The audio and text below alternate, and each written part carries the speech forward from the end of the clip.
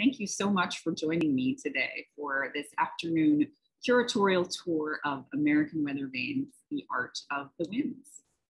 Um, the show is curated by guest curator Bob Shaw and coordinated by me. I'm Emelie Gevalt, curator of folk art at the American Folk Art Museum. And as I've just mentioned, I'm going to be providing an overview of the show today, uh, talking about some major themes and selected weather vanes from the show. In about a, a half an hour, I will uh, turn it over to you for questions. So um, feel free to, to make note of, of your burning questions and, and we'll uh, talk at the end. So this exhibition is so exciting for us at AFAM. Um, it's the result of many long years of research on the part of our guest curator, Bob Shaw, who is also the author of the excellent book by the same title, American Weather Vanes, The Art of the Winds, which is available in our shop. The show is made up of about 50 beautiful, painstakingly selected, visually striking vanes which cover a range of forms and moments in American history from the 18th century into the early 20th, which is really the time period representing the weather vane's heyday in American life. Many of the vanes in the show are drawn from private collections and really represent an opportunity to see a spectacular and highly unusual assembly of these objects. So if you're able, if you're in the area, I hope you will come to the museum and see them in person. Um, so this tour is really just uh, the beginning and, and will whet your appetite for more, I hope. One of my favorite things about the show is how it considers weather vanes from multiple perspectives. And among these interpretive lenses, which I'll talk about today, are elements of art history and craftsmanship, as well as scientific analysis of weather vane surfaces, issues of social history and identity, as well as the history of collecting weather vanes as folk art beginning in the early 20th century. But we'll start with some earlier history because weather vanes do have a very long historical trajectory, not only as tools to show the direction of the wind, but really as aesthetic objects. And they've been designed from the beginning to capture attention visually. These are objects that actually have ancient origins uh, and have been made globally for centuries from Greece to China to the present day. The weather vanes in the show are American. They represent the American tradition of vane making that sprang up as English and European craftsmen brought their skills and their visual vocabulary to the American colonies beginning in the 17th and 18th centuries. This banner form, which is on the title wall of the show and is a, a really beautiful monumental form, is of a type that carried forward to the United States from actually a much earlier period. So in the Middle Ages, vanes actually took their name and their form from heraldic flags, which at the time were called fanes, hence vanes. Um, these were flown from castle towers at first in fabric, uh, in fabric form as proud displays of family coats of arms. And so this example is really a descendant of those early banners. Um, this, as you can see, was made in Maine in the, uh, the mid 19th century. And one of the most beautiful things about this example is this gorgeous red glass center to this sort of tail of the vane, which glints in the sun. And you can just imagine how beautiful that would have been up high. The rooster is another weather vane form with uh, centuries long precedent. So the rooster actually became a symbol of Christian vigilance in the 700s um, looking at uh, as, a, as a symbol of the story of Peter's denial, in which Peter predicts that, uh, I'm sorry, in which Jesus predicts that Peter will betray him three times before the cock crows. So uh, from that time on in the 700s, the rooster becomes a popular choice for the top of church buildings and eventually becomes a choice for other public buildings, as was the case with this remarkable survivor from late 18th century Maine. Um, this is really unusual to have a survival from the 18th century of a weather vane made of wood. The gilding was probably part of what protected it over time. Um, we really don't see that many examples like this because, of course, weather vanes were made to be outside, and those that were made of wood rather than metal did degrade significantly over time. So this is a really special example to have um, to have in the show another rooster seen here on the left in a watercolor, um, was crafted by Shem Drowne, who is a weather vane celebrity, the first American-born weather vane maker that we know about. Actually, if you're a, an archive nerd, you can go and see his account book in the American Antiquarian Society in Worcester, Massachusetts. But this vane is actually still in use in my hometown, Cambridge, Massachusetts. Uh, so we have represented it here in the show with this beautiful watercolor made in the 1930s for the Index of American Design um, at a time when, when vanes were really making a resurgence as collectors' objects, and, and we'll have more about that later. Um, but I also want to uh, comment on the photograph that you're seeing it right here, which is a wonderful late 19th century image of this same weather vane at a moment when it had been taken down from its perch. It was actually being transferred from one church to another this time.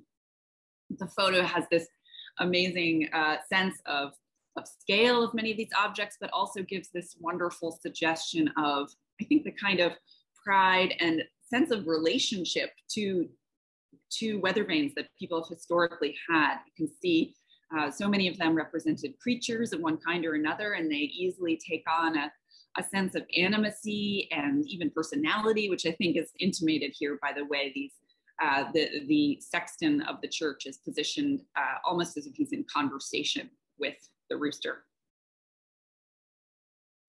So early weather vanes like these were crafted as unique objects, and they were often made by craftspeople like Shem Drowne, who were doing other kinds of metalwork or woodwork as well. They were doing what they uh, were able to do to, to survive and prosper, and uh, they weren't necessarily weather vane specialists. But in the mid 19th century, weather vane making really underwent a major transformation and started to become big business. Vane makers like Alvin Jewell in Waltham, Massachusetts, which was a center for weather vane making, uh, vane makers like Jewell became increasingly specialized and got better and faster at production concurrently competition between vane makers soared and they developed new methods for advertising like this wonderful broadside that you're seeing here that showcases a range of Alvin Jewell's wares. So vane makers in general started to offer a wide range like this of forms that could be reproduced in different sizes and offered at different price points to accommodate the needs of their customers here's just a wonderful close-up of some of the, of the options uh, uh, that you could acquire from Alvin Jewell. And if you visit the show, you will see we have an example of the eagle form, a, a monumental eagle uh, at left. And we also have an example, two examples of this form, the goddess of liberty on the right. And I'll be talking about one of those a little bit later. So this step up in production was, was partly made possible by changes to the craftsmanship process. And we have some examples of this on view in the show as well, as in this uh, wooden pattern on the right, uh, which was of the type that was used to create molds for reproducing copper weather vanes. So a beautifully articulated carved wooden pattern like this would create a detailed negative mold. You're seeing an example here um, uh, being put to work at the New England Weather Vane Shop, which is a, um, a contemporary um, weather vane shop that uses historical molds. But you can see here how he's he's taken the mold uh, and is hammering the sheet copper into the mold so that ultimately you end up with um, two identical sides which are soldered together. You can see the seam along the, roost, uh, the, the squirrel's face and um, his tail here, but it also goes all the way down his back. These two sides have been soldered together to form the hollow bodied uh, copper weather vane. So the key to making a vane functional is that the front portion must have a greater weight to it such that the tail catches the wind and rotates and the face points in the direction of the wind. Copper weather vanes were typically finished using this multi-part process that's illustrated here um, and also in the book through the research of conservation scientist Dr. Jennifer Mass, whom we were fortunate to collaborate with on this project. So the typical layer structure for finishing a molded copper vane involved, um, if this is the, the copper, there's a, a base of primer followed by size or uh, adhesive, um, and then topped with gold leaf, which is just exactly what it sounds like. It's a very thin um, gold that, that adheres to the surface um, created by these various layers. And so through this process, you get a beautiful luminous surface, like the one we're seeing here in this fabulous goat from the show. Uh, and then over time, the exposure to the weather uh, can result in a surface like this, or it can, um, it can result in one that is a much greener copper, um, oxidized copper color, which takes on often a very velvety quality that collectors, um, collectors really prize for its sense of history. You also see uh, painted weather vanes like this one from AFAM's own collection. And this is actually over time, this, is, this vane has really become an icon for the museum. It's one of our earliest acquisitions, uh, gifted to the museum by Adele Earnest, who was a, an early pioneering collector of weather vanes. Um, you can see here through more uh, research from Jennifer Mass, who did a microscopic uh, analysis of the lips um, on the, uh, the angel weather vane. Um, as these objects were taken down from their perches and refreshed resurfaced over time, the original surface layers were not necessarily stripped down to the base. So you can see in this photo image here, there is not one, but two layers of white primer followed by red paint. And you can see again, white primer followed by red paint. Um, and the, the coexistence of these layers really provides a sense for the vane's history of use and reuse over time.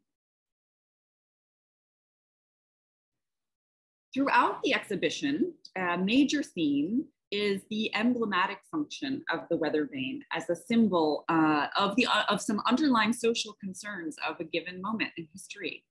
As the crowning ornament on top of a building, weather vanes were often chosen to symbolize a certain sense of status, uh, pride, and identity. So with the rest of my overview today, I'm going to share some highlights of weather vanes from the second half of the 19th century and into the early 20th as examples of some of the social changes taking place during this period. And I think you'll see um, that in this sense, these objects really become kind of cultural texts that can be read as, um, as documents of moments in time. Throughout the history of American weather vanes, patriotism and American identity comes through um, you see this here in this iconic goddess of liberty, which I mentioned and pointed out on the Alvin Jewell broadside that we were looking at a moment ago. Um, for those of you who need a refresher on the history of the Roman goddess Libertas, um, she provided the model for this personification of liberty, um, which became popular originally during the American and French revolutions. And she was traditionally depicted like this, carrying a flag um, on a staff and wearing what's called a Phrygian cap, so a soft cap that folds over at the top, um, which itself became a symbol of freedom and democracy. Um, but although this imagery dates to this earlier period, it actually um, is a, a, an image that carries through the 19th century and was probably especially appropriate at the time this vane was made, um, just after the Civil War, when the country was in a moment of trying to uh, heal and reconstitute itself following the Civil War. Now, as I mentioned, Alvin Jewell was the original designer of this form, but you see the name Cushing and White uh, on this example, and that is because um, Jewell tragically died um, while at work. He, uh, his scaffolding failed while he was installing a vane, and he he uh, plummeted to the ground and, and, died, I believe, about a day afterwards. Um, but Another influential firm, also based in Waltham, Massachusetts, Cushing and White, bought Jewell's patterns and, and continued to offer this form among other aspects of his inventory. Um, some really nice details here. You can see this crimped applied sheet metal um, wreath uh, around her neck. And you can also see these stars have been cut out. So there's some really fine detail in this example. Also, a really wonderful feature here is the Cushing and White stamp for this Goddess of Liberty vane. It's quite rare to see a stamp like this. Um, so some years after the, this Goddess of Liberty vane was produced, New York Harbor Statue of Liberty became another source for a weather vane form, as you can see here in this example. Uh, when this was advertised in the catalog of J.L. Mott, who was a, a vane maker based in New York and Chicago, uh, he actually felt that he needed to point out that this vane was modeled after the Bartholdi Statue of Liberty erected on Bedloe's Island, New York Harbor. Of course, this island is now known as Liberty Island, and the Statue of Liberty needs no introduction. But at the time, um, she was relative, relatively newly installed, and so this was pointed out by Mott um, as a as a point um, to make for for those of his clients who who might not be living in New York and might not be aware of um, of this form. It's a wonderful close up of her. You can see these, these great applied elements uh, to the crown. So also during the late 19th century, fantastical forms were very popular. Uh, we can see an example of this in this, in this very large and complex witch riding a broomstick which was made by an Ohio maker. You can see, uh, you may be gathering that many of the early weather vane makers were based in Massachusetts, um, but over time, these businesses also sprung up in New York and moved out uh, to the Midwest, to Ohio um, and Pennsylvania as well. Uh, W.H. Mullins, based in Ohio, was also known for his work on the famous Diana weather vane that sat on top of Madison Square Garden.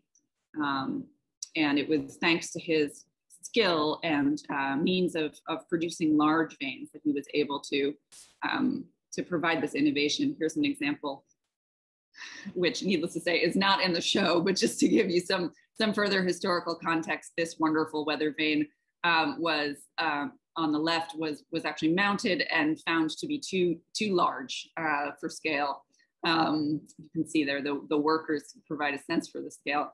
Um, so it was it was um, refined and remodeled um, in a second version, which you're seeing on actually on top of Madison Square Garden on the right. You can also read more about this story in Bob's book. Um, so just to go back to the witch briefly, I will say that um,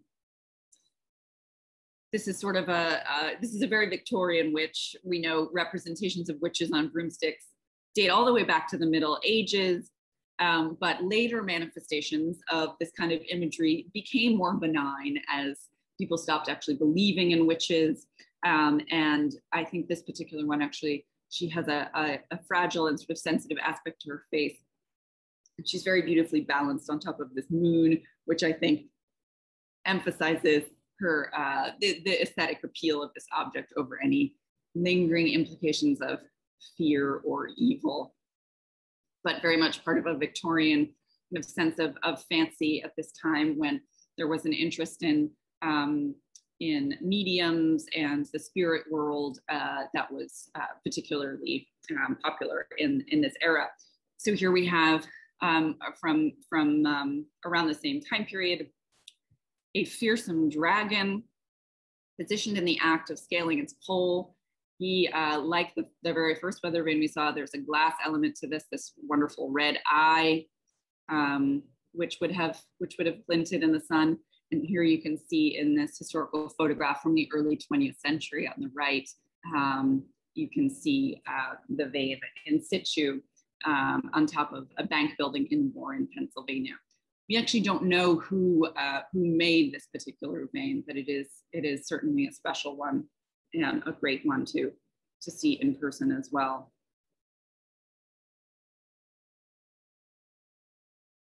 So another theme that really comes through in weather vanes of this time period is that of innovation. A lot of change taking place in uh, the technology of transportation in the late 19th century.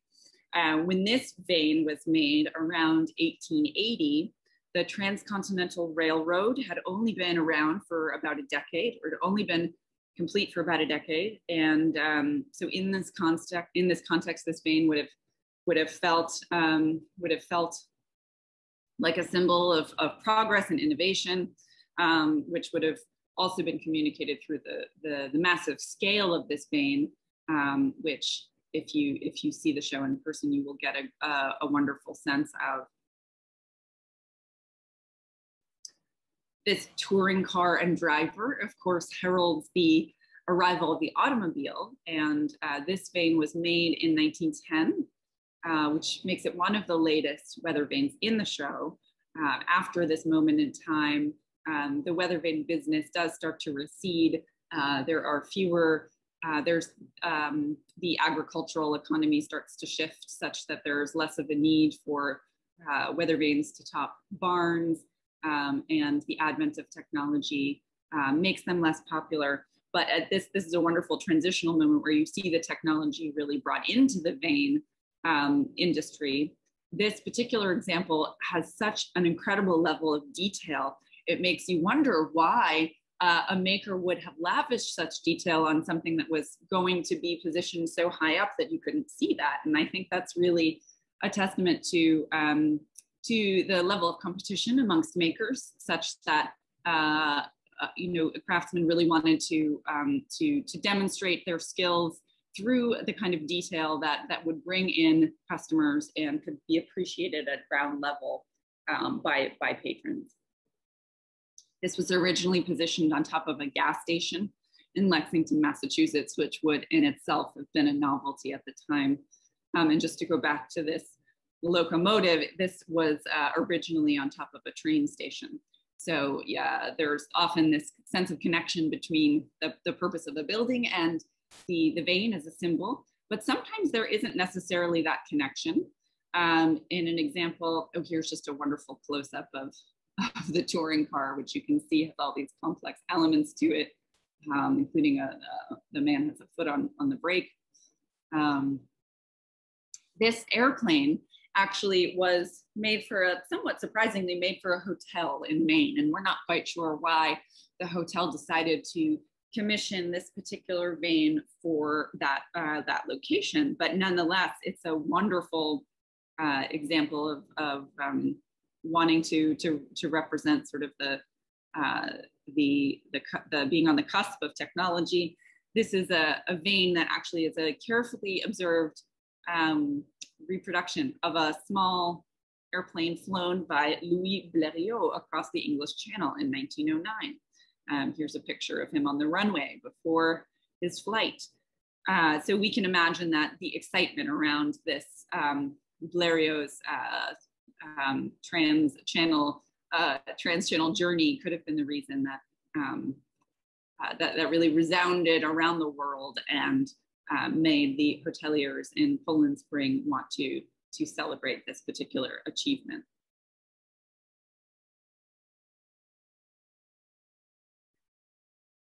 One of the reasons that there continues to be this special appreciation for American weather vanes today is that these objects became of great interest, especially beginning around the 1920s, to modern artists and to collectors and dealers in what was then really a new collecting category becoming known increasingly as American folk art.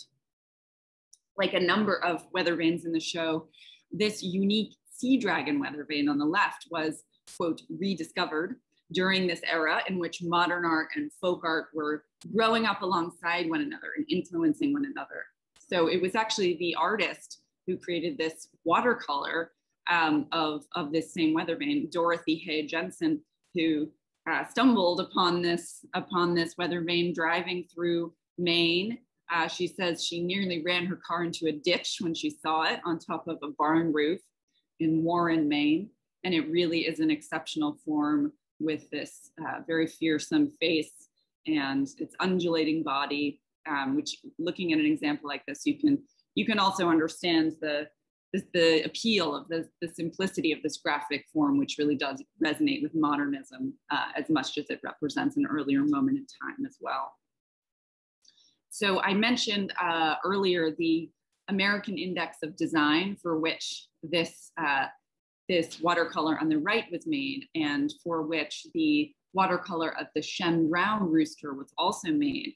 The American Index of Design, or rather the Index of American Design, was a, a highly influential works progress administration project that was part of what helped the, the, to cement the weather vanes status as uh, an iconic American graphic form.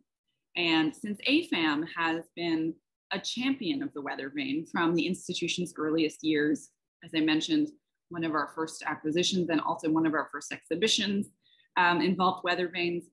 It's especially exciting to be sharing this show during the museum's 60th anniversary years. So I'll close today with some photos of the exhibition installation. Again, just to tempt you to come and see the show in person. You can see here there are many more examples of weather vanes that I haven't yet shared, including this spectacular Hudsonian curlew, which was positioned on top of a sporting club in New Jersey, this wooden sea serpent. Both of these examples are in AFAM's collection and were included in the seminal folk art exhibition in 1975 the flowering of American folk art at the Whitney Museum of American Art. Um, and uh, this fame weather vane is also uh, in AFAM's own collection. Some more examples here. We have another pattern here in this uh, wooden fox, which you can see was used to produce a weather vane um, that's on view behind it. And then lastly, you'll see um, a gallery that's full not only of examples of innovation and fantastical forms, but also horses, including a wonderful polo player, um, uh, positions on top of sporting clubs and barns were, were, were major as uh, spots for weather vanes, uh, as well as the public buildings within the urban landscape, some of which I've mentioned today.